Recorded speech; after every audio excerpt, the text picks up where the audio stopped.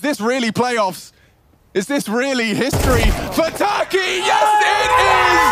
Eternal Fire, top eight in Copenhagen. A beautiful three map affair, and look what it means to them. The expression of emotion, the 20th Counter-Strike major, and Turkey are in the top eight. Finally, they have made it. They are here and they are playing some top-notch Counter-Strike. Eternal Fire are legit. And what a way to end it.